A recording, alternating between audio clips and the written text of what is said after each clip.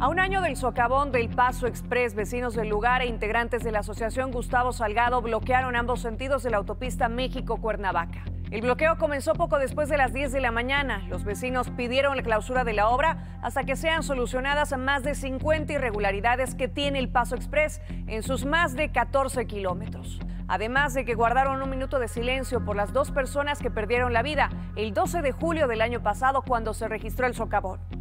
Tan solo ayer se registraron dos accidentes debido a la falta de señalamientos y también por la reducción de carriles para que circulen autos compactos y de carga en esa misma vía.